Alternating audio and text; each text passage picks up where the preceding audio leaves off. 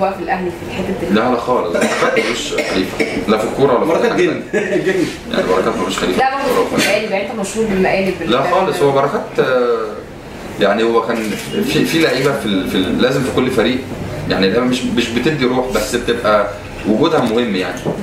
لأن الجو ال- ال- ال- المعسكرات والتنشنة والضغوط محتاج إن في لعيبة تبقى تخرج اللعيبة شوية تفك الدنيا شوية.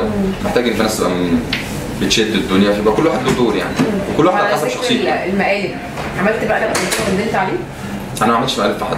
يعني عمري ما عملت. هزار يعني. إحنا بنهزر أه مع بعض آه. لكن مقلب و... هزار يعني هزار. عملت حاجة زي كده قبل كده وندمت عليها؟ آه. البتاع اللي مسكها لأحمد حجازي دي مش عارف. لا. الصرصار. الصفار ده. قبل كده وأنا صغير. يعني وأنا صغير هزرت مرة مع شريف اكرام وكان متعصب فقفش عليا. قفش عليا جامد يعني. والله ما فاكر عمل إيه بس هو روقني يعني. يوم كنت أنا صغير لسه طالع من قطاع وكده وقطاع الناشئين و... وهو متعصب مع حد فأنا هزرت معاه كده فروقني يوم. مع ان شريف من أكتر الناس قريبة مني بالفرقه